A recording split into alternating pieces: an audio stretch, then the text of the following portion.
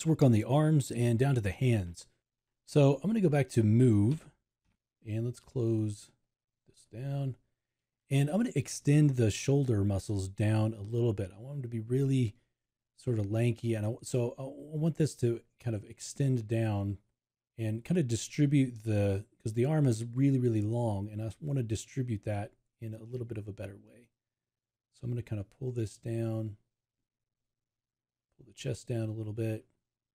You can kind of smooth that back into the, the surface a bit. All right, let's go back to our clay buildup. I'm going to add a nice bony elbow to the back here. Kind of like that. Smooth that back out. We can remesh. And then I want our arm muscle to kind of come and connect up right back here. And so I'll kind of just smooth that back into the arm there. Can add a little bit of uh, definition to maybe like a bicep here for doing that sort of uh, anatomy. Okay, let's kind of get our definition over here for the rest of the arm. Let's smooth this back out. I also want to thin this out a little bit more, so I'm just going to use Alt and just kind of eat away a little bit at that. We talked about when we kind of remove the volume from that, from the wrist. I, I really want that to, to kind of be the thinner point there.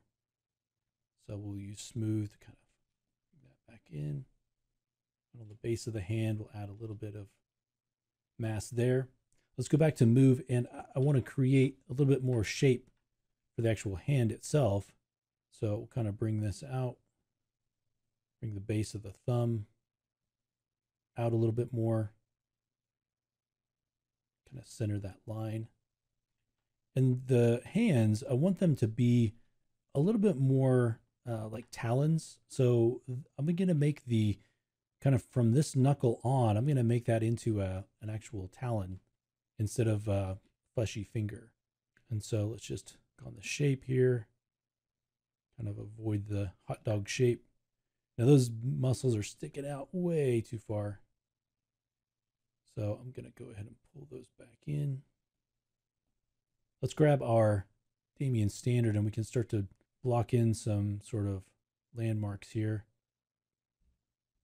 Kind of where the base of the arm is, where the bicep will connect in. Kind of some lines going across here. maybe defining the, the elbow there a little bit. This is going to be covered. And so again, I don't want to spend too much time detailing the, the musculature since it's going to be covered up, but I do want to get kind of the basics there. Could, we could work on that a little bit too. Um, but I want to show you how to, to separate the pieces out for the talons. And so we are working with Dynamesh here. And the cool thing about this is we can cut parts of this off and remesh it and it'll seal everything up and just create that as a new mesh.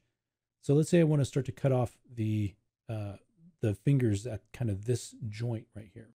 So there are a few ways that we can do this. I'm going to go to the mask brush and I'm going to select the mask pen.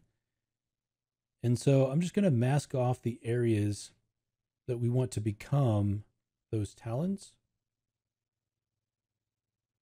And we can do one at a time or we can do them all at once. Just do them all at once here. So I'm just going to go right up to that joint, whichever part of the finger that you want to be instead of the, the finger, but like the claw or the talon. I'm gonna, I don't like this thumb very much. So I'm going to get a move brush.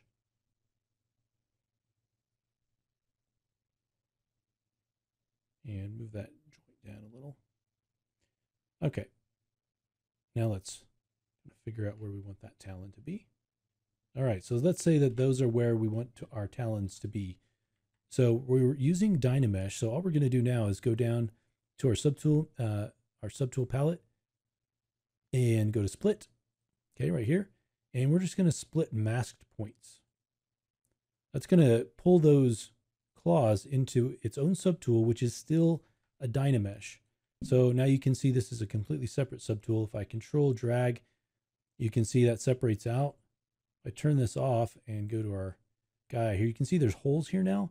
Dynamesh is great because it fills all those holes. So let's go ahead and remesh this. And now those are all filled. We can go in here and smooth that out. We've got our claws here. And let's kind of smooth those. We've got move here. And so now we can start to pull those up into the finger, but now we can treat them differently the way that we sculpt the hardness of the edges and, and that sort of thing. And we can shape the shape it into more of a sharp claw shape without affecting the fingers. Okay, so just kind of pull it up into the hand surface. I want to work on the hand a little bit more before we jump out of here. So let's go to clay buildup. And I just want to create a little bit more structure. So I'm going to give our, give us a little bit more structure with some knuckles and tendons here coming the hand coming out here. Can kind of pull this in a little bit. Remesh. Same thing out here. Create a little bit of flow between the thumb and the rest of the hand. We give our wrist a little bit more of the, the bony structure there. Let's go ahead and get our Damien standard brush and we can start to drop in some lines here across the hand. Again, this is a just our base, so we don't want to go too crazy with this part. Coming across the wrist a little bit. Anywhere where you've got a lot of flesh that's going to be moving, bending, and scrunching together. Okay, kind of come in here and just finesse this a little bit. Just to get the basic structure in there. Remesh. All right, so something like that. Okay, doesn't have to be exact, but the key thing is you just want to add a little bit more shape to the arm, get rid of the kind of sausage hot dog kind of look, add a little bit of detail to the hand, and then separate out the claws. You don't have to add too much detail to those right now. But the next thing that we're going to do is kind of do the same process, but on the legs. So we've got kind of a little bit more detail going on on the upper body. We need to move down to the legs. So we'll do that next.